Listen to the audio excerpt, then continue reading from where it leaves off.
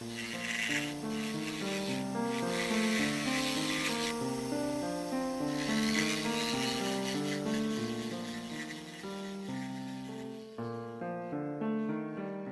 think I'm an artist. I like to think of myself as an artist.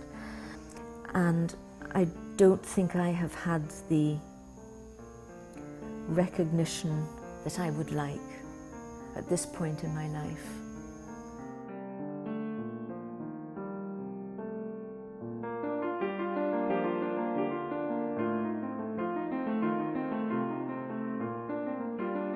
It must be very frustrating to know that you are a world-class artist and still to have to struggle in all sorts of ways for recognition that takes some form other than saying, gosh, I love your work.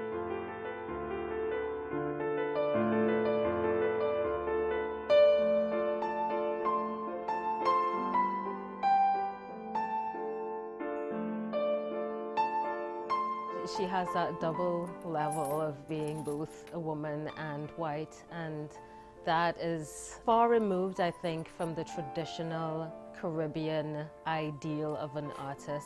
I, I feel like she's perceived as a bit of an outsider, even though she's very much a part of Trinidad.